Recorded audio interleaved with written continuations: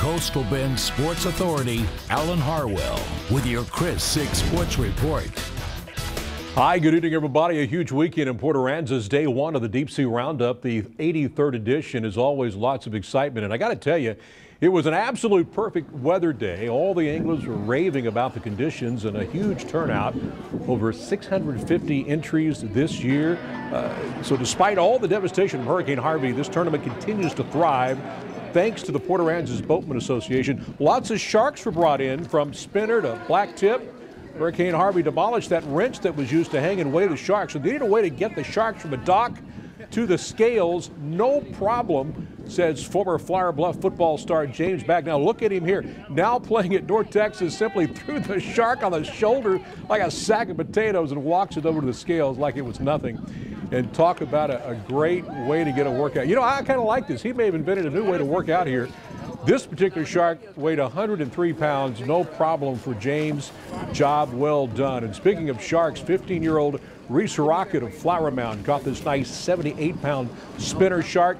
This is not her first deep sea roundup. She is a veteran definitely knows uh, what she's doing. And some good-sized barracuda brought in too today.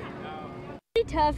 We hooked him and he didn't really want to come up. He kept trying to dig farther and farther. He took a lot of line and it took us a while to get him to the surface where we could get a good shot at him, but we got it. All right, you're just 15. It just goes to show you age doesn't matter on a tournament like this, right? No, it doesn't. What is it about this tournament you like so much? I love how there's such a verse, like there's such a variety of fish that you can catch. There's a lot of species, and you're not limited to just like billfish like most ordinary tournaments. Uh, biggest barracuda I've ever caught, that's for sure. Well, uh, how tough was it to reel this sucker in?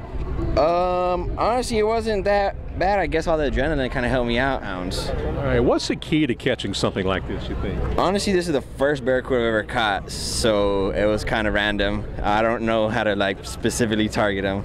Rather be lucky than good any day, right? yes, sir. All right. All right, now a good day of fishing is luck and not getting seasick.